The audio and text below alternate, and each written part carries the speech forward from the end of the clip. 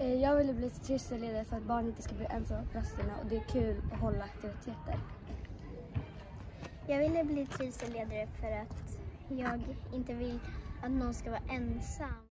Man fick ju lära sig mycket på utbildningen, så massa lekar och vi fick ju påverka leken också där. Ja, och vi fick prova lekar och det var jätteroligt. Och vi var där typ hela dagen och det var. Och eh, nu på rasterna bestämmer man ju tillsammans med TL-personalen vad man ska göra på lekarna. Och vi har gjort ganska många lekar från utbildningen och det tycker jag är bra för då vet vi hur lekarna ska vara och sånt.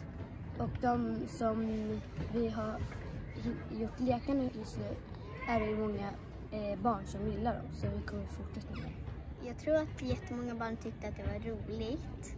För jag vet inte hur de tyckte fast det såg ut som att de tyckte det var roligt. Den där flesta aktiviteten som alla gillade var ju Gaigaboll där man skulle kasta bollen ut utanför.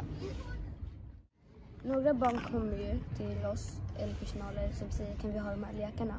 Och det brukar vi ibland brukar ha ett TL-möte.